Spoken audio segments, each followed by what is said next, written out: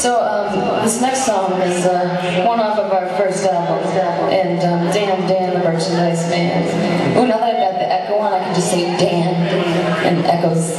I have to say Dan, Dan. Anyhow, Dan, Dan, the merchandise man likes this song, and whenever we don't play it, he thinks the world is going to come to an end. Well, I'm happy to report that the world's not going to come to an end because we're going to play the song "Go Back."